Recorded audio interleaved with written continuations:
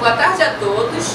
Nesta terça-feira, o prefeito de Maricá, Fabiano Horta, esteve aqui na rua 89 com 36, em Taipuaçu, visitando e recebendo material da nova ponte de pedestres que vai ser construída. Vai ser feita em forma de aduelas, que são galerias fechadas em forma de O, com mais ou menos 2 metros.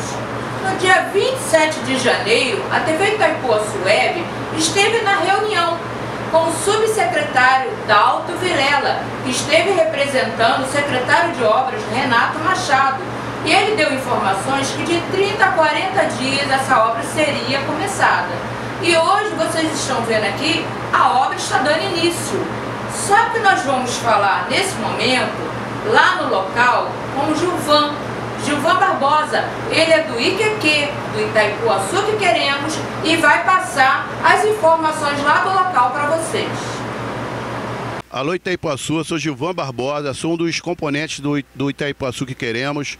Eu vim aqui é, em nome do IQQ informar como é que vai ser essa obra aqui, ó. É, a prefeitura colocou umas pedras justamente para a, a máquina ela vir andando por cima das pedras e colocar aqui as galerias.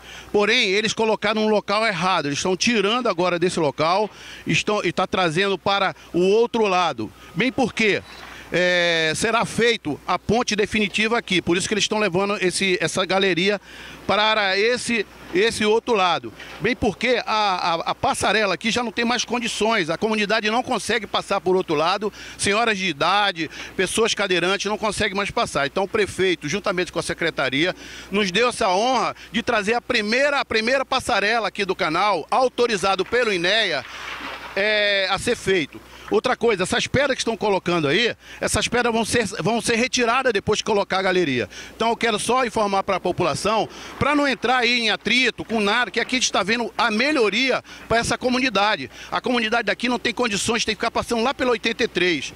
É só isso aí e um beijo no coração de todos.